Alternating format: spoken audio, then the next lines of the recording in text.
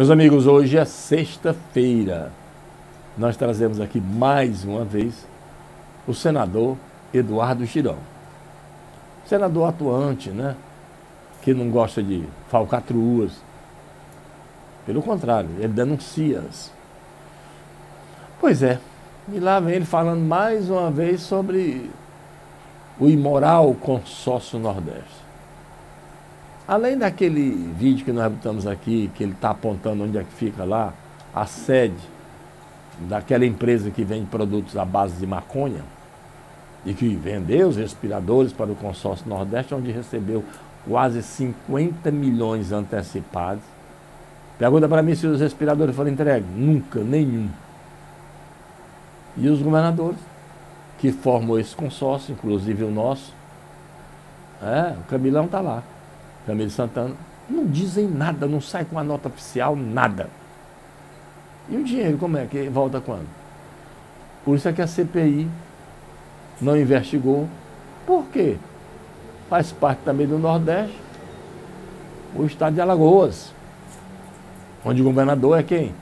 Filho de Renanzinho. É, é o filho do Renan Calheiros, o Renan Filho, que é o governador de lá. Está também rolado nessa loucura aí dos respiradores que foram comprados e pagos antecipadamente e ninguém recebeu.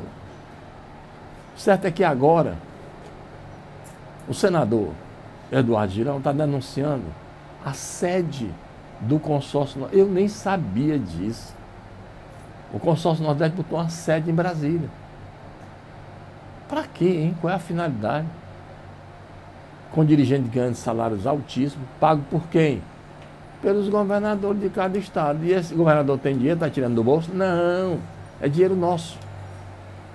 Que está correndo aí pelo ralo nesse consórcio Nordeste.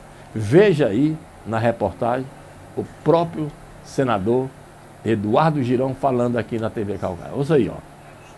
Paz e bem, minha irmã, meu irmão, eu já mostrei para você a sede daquela empresa chamada Hempcare, que recebeu 48,7 milhões antecipado no início sem nota fiscal e que até hoje não entregou os 300 respiradores para o povo nordestino. Ela fica num prédio residencial em São Paulo, nem sede comercial tem.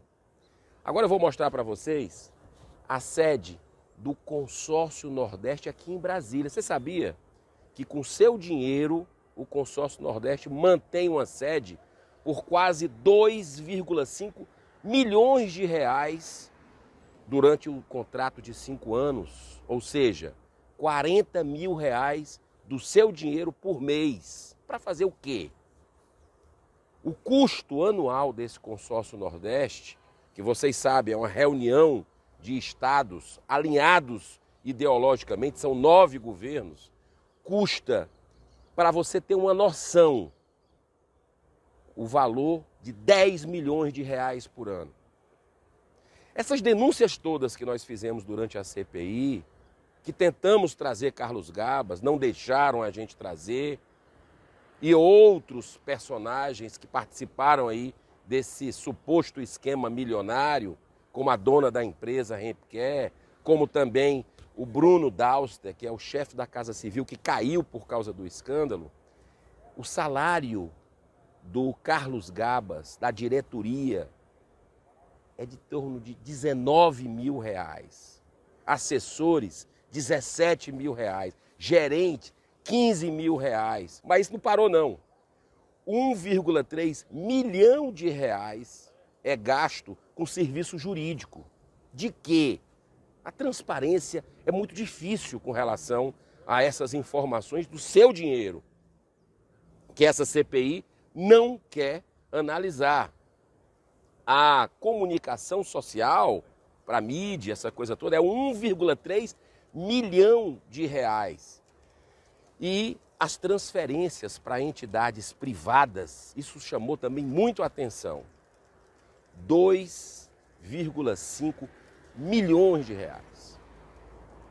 É muito estranho tudo isso. E o curioso de tudo isso é o seguinte: fica a poucos metros esse prédio aqui, alugado pelo consórcio Nordeste, da CGU.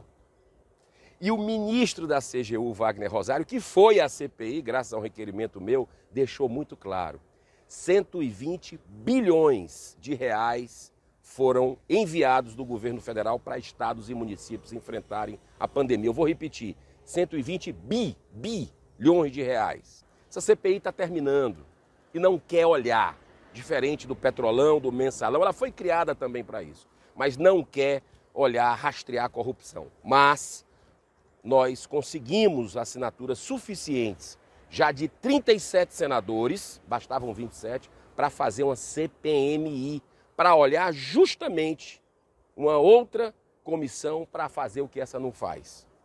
E agora nós vamos levar para os deputados, porque vai ser uma comissão mista, Senado e Câmara, para que a gente possa fazer e trazer toda a verdade para o povo brasileiro desse Covidão. Grande abraço, muita luz, muita paz para você e sua família.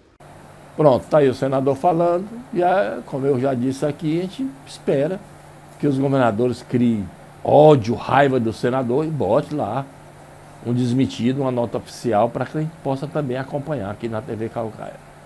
TV Calcaia no YouTube é aqui, tá bom? Inscreva-se no nosso canal, estamos já chegando aos 17 mil inscritos. Inscreva-se, ative as notificações, dê um like nesse vídeo.